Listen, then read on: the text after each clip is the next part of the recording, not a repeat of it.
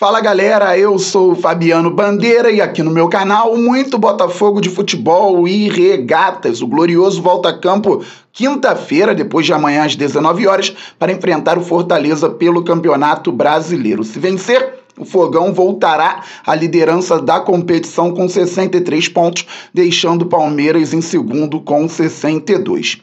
Hoje, às 15 horas, acontecerá a apresentação do técnico Thiago Nunes em entrevista coletiva no estádio Newton Santos. Neste vídeo, em mais um conteúdo robusto, falo sobre dúvidas que o técnico pode ter para a partida de depois de amanhã. Enquanto não podemos ver a escalação, estamos aqui pensando quem joga na lateral direita, quem pode atuar na zaga e na lateral esquerda. No meio-campo, será que teremos mudanças?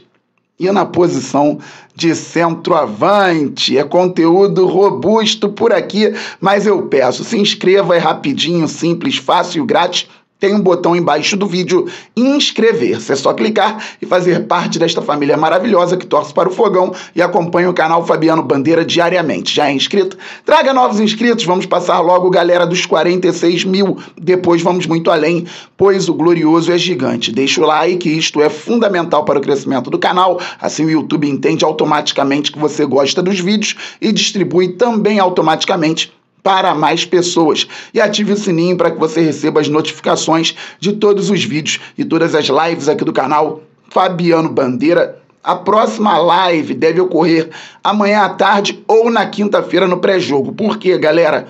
Hoje vou à apresentação do Thiago Nunes no estádio Newton Santos e mais tarde estarei na partida da seleção brasileira contra a Argentina. Claro, vou com a minha camisa do Fogão. E amanhã, às 19h30, estarei no glorioso Connection com o Antônio Bento Ferraz e também o Gustavo Chagas. Pois é, galera, o técnico Thiago Nunes, então, sendo apresentado hoje às 15 horas no estádio Newton Santos. O treinador já está trabalhando com o Glorioso, ele tem nas mãos um grupo que se encaixa no perfil, se encaixa no que ele pensa a respeito de futebol ele tem pontas rápidos e alguns fortes. Ele tem meio-campistas que conseguem dar passes de qualidade, tem centroavantes móveis e experientes, tem tudo para um time vertical. E assim o Thiago Nunes se notabilizou principalmente no futebol brasileiro. Então, ele pode dar certo sim à frente do Botafogo, que tem um problema crônico hoje, sistema defensivo ora por falhas individuais, ora por desencaixe coletivo, o Botafogo vem errando na zona defensiva e tomando gols bobos, tomando até viradas inesperadas. E contra o Bragantino no domingo retrasado, o Botafogo acabou tomando um empate no final da partida. Isso o Thiago Nunes vai ter que corrigir. É importante que ele esteja observando todo o cenário para o tiro curto. Essa reta final do Campeonato Brasileiro, o Botafogo ainda busca o título. E ele deve sim ter tido pelo menos algumas dúvidas. Não sei se ainda está com dúvidas visando o jogo com Fortaleza e as cinco partidas na reta final. Mas na semana passada eu fiz um vídeo aqui, até brinquei, que não daria para barrar todo mundo. Um dos desafios do Thiago Nunes é potencializar bons jogadores que estão em baixa. Só que em alguns setores do campo, pode ser sim que ele faça intervenções, que ele faça mudanças mais claras, trocando peças. Então, por mais que o Thiago Nunes não vá mudar todo mundo, creio eu, ele deve mudar em uma posição ou outra. E aqui começam alguns questionamentos. Vamos pensar juntos. Quem Thiago Nunes deve escalar no gol? Lucas Perry, que está com a seleção brasileira? Ou Gatito Fernandes, que vem treinando desde a chegada? Claro, ele vem treinando desde muito antes, mas o Thiago Nunes só trabalhou com o Gatito Fernandes e não trabalhou com o Lucas Perry ainda. Quem será que vai agarrar contra o Fortaleza? Ainda acredito no Lucas Perry como titular. Na lateral direita, para mim, a vaga está aberta. Ou de Plácido ou Mateu Ponte. Muitos pedem o Bastos por ali. Vamos ver quem Thiago Nunes vai escalar. Ele teve dias aí para observar e ainda tem pelo menos a quarta-feira para dar uma olhada melhor em quem pode se encaixar na vaga de lateral direito no Botafogo. Na zaga, Adrielson titular, Cuesta se mantém ou perde a vaga para o Bastos, um zagueiro também experiente que teve carreira na Europa.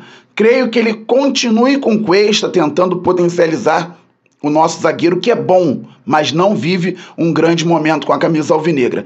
Na lateral esquerda, Marçal ou Hugo. Embora tenha falhado no gol do Red Bull Bragantino, jogando como um extremo e não marcando no momento correto, o Hugo pode disputar a vaga com o Marçal hoje de igual para igual.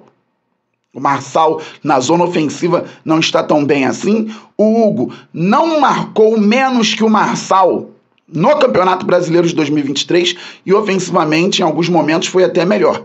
Aí eu acho que também a vaga está aberta.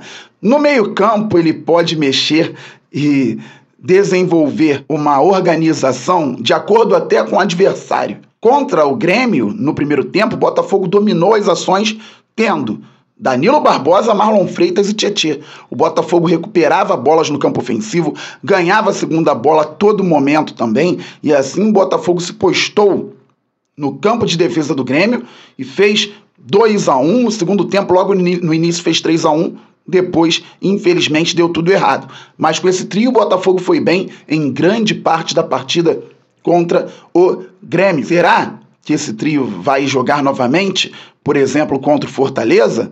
Ou será que o técnico Thiago Nunes vai tirar o Marlon Freitas e botar um marcador mais eficaz, no caso Danilo Barbosa, jogando com Eduardo e Tietê, ou com Tietê e Eduardo? Ou será que teremos Danilo Barbosa, Tietê e Gabriel Pires? Ou Marlon Freitas, Tietê e Gabriel Pires, com Danilo Barbosa continuando no banco e o, o Eduardo indo para o banco. São situações que o Thiago Nunes tem que ver no dia a dia. As possibilidades são muitas. Porque ele pensa em potencializar o Eduardo e trocar no caso do Marlon Freitas, colocando Danilo Barbosa. Ele pensa em potencializar o Marlon Freitas e trocar o Eduardo botando o Gabriel Pires. Ele pensa em potencializar Marlon Freitas e Eduardo, deixando os dois ao lado do Tietê, ou trocar os dois, deixando Danilo com o Tietê e o Gabriel Pires. Tudo isso é observação e muito trabalho. Nas pontas, creio que o Thiago Nunes tem os titulares, Júnior Santos na direita e o Vitor Sá na esquerda e um debate que há pouco poderia parecer inacreditável. Diego Costa ou Tiquinho Soares?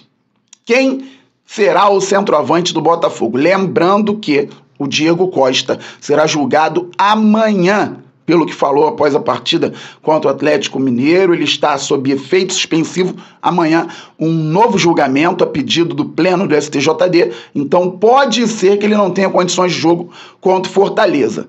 Mas se tiver condições de jogo contra o Fortaleza, o Diego Costa pode ser titular? Vamos pensar, galera. O Tiquinho Soares ainda é o craque do campeonato, ainda é o craque do Botafogo. Sou fã do centroavante alvinegro. Joga muita bola. Só que o Tiquinho Soares não apareceu bem nas últimas partidas e ainda teve um problema no tornozelo contra o Bragantino. Perdeu algumas sessões de treinamento, voltou a campo ontem. Claro, o Tiquinho Soares também passa por um problema pessoal sério com relação à saúde do pai. Então, o Tiquinho Soares é um jogador que precisa estar motivado, precisa estar pronto porque qualidade técnica ele tem. Só que nós temos um jogador de nível internacional também, que é o Diego Costa, que cresceu muito de produção nos últimos jogos, foi importante em gols do Botafogo, fez gol contra o Grêmio, foi bem contra o Bragantino. Então, há, ao meu ver, uma disputa por ali. Eu prefiro ainda o Tiquinho Soares, mas não tenho problemas com o Diego Costa como titular. E mais, o Thiago Nunes já trabalhou em alguns momentos, principalmente no Ceará, no 4-1-3-2.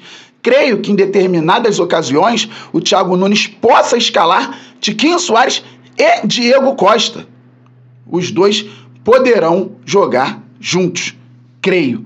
Vamos observar as cenas dos próximos capítulos. Fato é que com jogadores em baixa, podendo ser potencializados, podendo melhorar, e com jogadores sedentos por uma vaga no time titular, o Botafogo ainda tem um bom plantel. E condições de buscar o título brasileiro. Eu falaria um pouco mais a respeito da parte física. Ontem fiz um vídeo aqui que gerou um debate muito interessante nos comentários. Um abraço para todo mundo que comenta por aqui com respeito e educação. Sempre leio mas vou deixar para falar mais à frente, juntando com questão estrutural, tá bom, galera?